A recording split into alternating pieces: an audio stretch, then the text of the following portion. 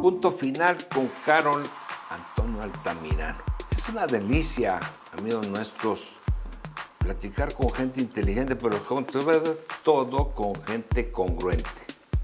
Es como diría Benito Juárez, no se me juzgue por mis dichos, sino por mis hechos, mis hechos son dichos. Así es. ¿No? Claro. Y eso es lo que estabas diciendo. Y esa visión, ese abandono que ha tenido el sureste del país, aparte cuando se dan cuenta de que las mejores reservas humanas, eh, las reservas materiales, Claro. ¿no?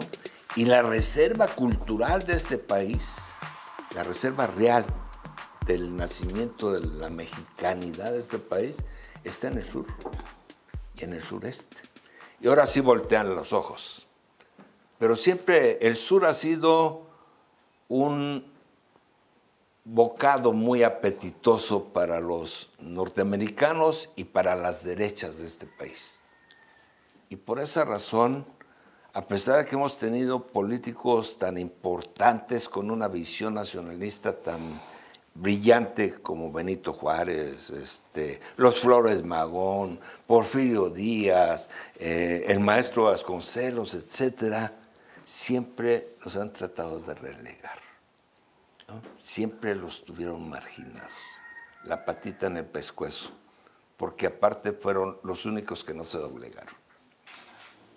Desde la conquista, Carol. Así es, maestro. ¿sí? Y esto te deja una herencia genética, cultural y moral e histórica, como bien lo decías. Y por eso esas consecuencias terribles de ese modelo de desarrollo que para nosotros ya está agotado, pues llevó este olvido. Pero, ¿qué mejor ahora? Con este presidente de los Estados Unidos, con todo el embate que trae este señor, creo que lo que hay que hacer es ver hacia adentro, vernos a nosotros mismos, maestros. Y creo que ver al sur. Este país no puede caminar, por eso decimos que este modelo está agotado. Necesitamos voltear los ojos al sur. Qué bueno que se hayan anunciado inversiones importantes para Oaxaca y para el sur del país, maestro. Yo espero que no sea como esto, otro de esos anuncios, porque han sido varios anuncios. La, historia registra no solamente estos grandes proyectos, maestros, sino anuncios presidenciales de que ahora sí va el apoyo al sur. Y ahora sí espero que esto sea en serio. Creo que Oaxaca lo que necesita es inversión. Creo que Oaxaca ya está cansado de tantas confrontaciones. Creo que también en Oaxaca, y lo expreso así, maestro, ya también se agotó una forma de gobernar.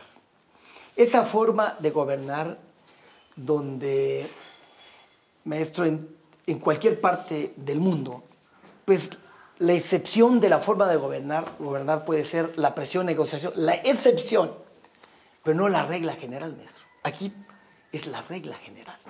¿Quiero algo? Presión. ¿Quiero algo? Bloqueo la carretera. ¿Quiero algo? Eso ya no puede ser, maestro. Yo creo que eso ya, la gente ya está cansada.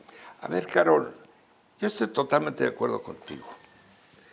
Pero fue una deformación que dejó la política y Así los es. políticos, Así es. Tenemos Sí. que reconocerlo. ¿verdad? Lo tienes que reconocer. Sí, sí, sin duda alguna. Muchos, muchos funcionarios, muchas gentes hacían sus propios grupos para hacer las presiones, sacar su lana, Así es. ¿verdad? que no llegaba a las bases y que se embolsaron. Y eso ha dejado muchos ricos, por supuesto, en este estado. Yo digo que el y estado de forma, Oaxaca... un modus vivendi de muchos líderes sociales. Bueno, pues en Oaxaca el sexenio pasado tuvo los mejores presupuestos Así en es. condiciones adecuadas, ¿verdad? Y no hay obras, no hay nada, pero sí hubo mucho, muchos recursos, no faltaron recursos, lo que sobraron fueron rateros. Y yo estaba leyendo una nota el día de ayer, maestro, que parte de la deuda fue para organización socia- social. Eso no puede ser, maestro. Eso no puede ser. Por eso presenté una iniciativa en materia de disciplina financiera, La deuda, la deuda no es malo, maestro. Si un oaxaqueño solicita una deuda para poder negocio, eso está bien. La deuda desde el concepto económico no está mal, maestro, cuando se usa bien. Pero son cuando inversiones. pero Una cuando, son inversiones y otras Claro, pero cuando lo utilizas para comprar o hacer unos 15 años o para casarte o para otras cosas, maestro, pues claro que... Si supieran que el matrimonio es un infierno. Entonces, ese es el problema, maestro, pero yo es un punto que me interesa destacar. Creo que en Oaxaca llegó, está agotado esa forma de gobernar. ¿Qué es lo que se tiene que hacer, maestro? Yo creo que el buen gobernante, lo decía Carlos Alberto Madrazo, tiene que ir al encuentro del problema. No tienes que esperar a que estalle, no tienes que esperar a que un líder social anuncie una marcha o, o esté bloqueando una carretera, porque es el problema de todos los días, maestro. De todos los días. Y creo que pues, no hay inversión. ¿Quién le va a dar ganas de hacer inversiones en un estado con tantos bloqueos? Yo creo que eh, tenemos que cambiar. Por eso, pero ¿cómo cambiamos? Por eso yo he planteado una iniciativa. Que es el Llevas varias iniciativas planteadas. Sobre este tema, maestro, yo creo que, ¿cuál es el problema? Oaxaca, en Oaxaca la pluralidad llegó para quedarse. Ya no se puede, ya se acabó ese partido único. Ya no hay mayorías absolutas. Tú dices ese esquema que ha planteado ahora Manlio Fabio Beltrones, las claro. Estoy de acuerdo, dos cosas, maestro. Primero, segunda vuelta y gobierno de coalición. ¿Por qué segunda vuelta electoral? Si revisamos las elecciones recientes, los que gobiernan obtuvieron un poquitito más del 30%, maestro.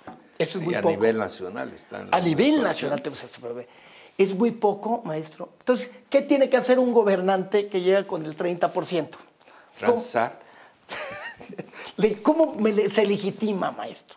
Pues haciendo muchas tonterías y ya lo estamos viendo. Pero por eso la segunda vuelta.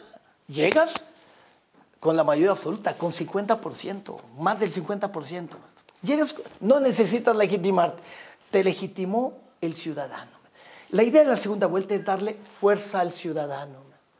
Que el gobernante, en Oaxaca necesitamos gobernantes fuertes. Como están las cosas, necesitamos gobernantes fuertes. Necesitamos gobernantes fuertes para que tomen decisiones. Oaxaca requiere de decisiones firmes, no de estar... No de represión. No de represión. De ninguna manera, el hablar de un gobierno fuerte, un gobierno de decisiones. Claro. Sin necesidad del uso de la fuerza, sin duda alguna. Pero lo que sí tenemos que hacer también es que en el gabinete se tiene que expresar esa pluralidad, maestro.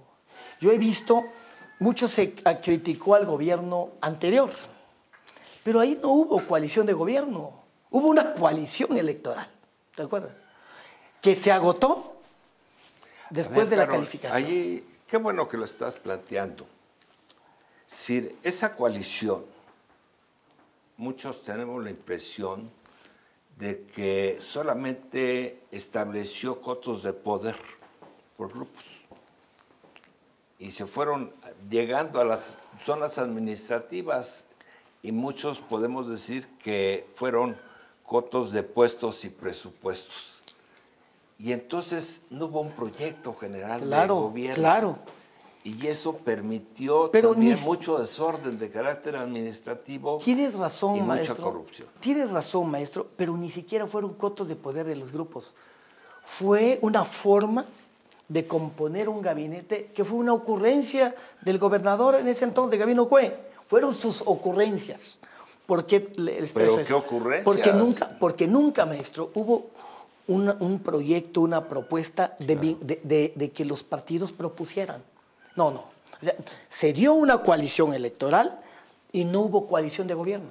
Fueron ocurrencias porque fueron invitaciones del, del, anterior ejecutivo. Entonces, no hubo un gobierno en el Yo fui diputado local en ese entonces. Tampoco se formó una coalición legislativa en términos formales como se formó un gobierno de coalición.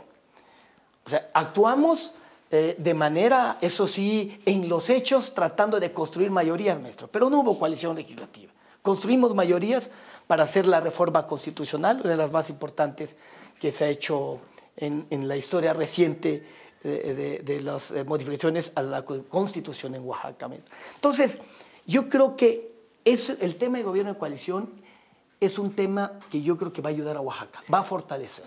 Carol, lógicamente la coalición es importante y esto obliga a un orden de carácter administrativo. Tenemos una Contraloría claro. que ha tenido limitantes en ocasiones para poder ejercer su función, si no tiene la autonomía que se requiere realmente para que pueda ejercer completo. Y tú has hecho una propuesta de autonomía en ese sentido. Así es. ¿Por qué razón?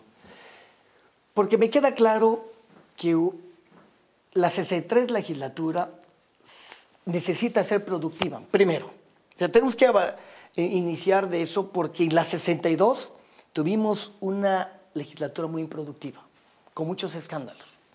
Total. Y, las leyes, ¿te acuerdas de la, de la, ley en materia electoral que lo tomaron los tribunales? Muy improductivo. Entonces tenemos que ser muy productivos.